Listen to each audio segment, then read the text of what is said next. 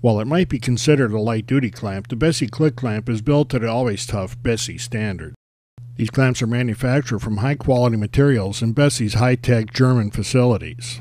The steel bars have the familiar Bessey hourglass shape for rigidity. Precisely formed teeth along both edges of the bar lock the movable jaw when pressure is applied. Heavy bosses at the bar help the jaws resist the clamping pressure.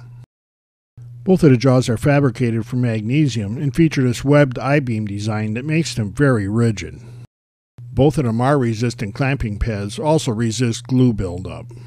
Atop the 6 inch long composite handle is this cam shape. When the handle is squeezed, that cam applies pressure to the underside of the floating pad. As the handle is pulled, the trigger clicks down its rolled teeth to hold whatever pressure is needed.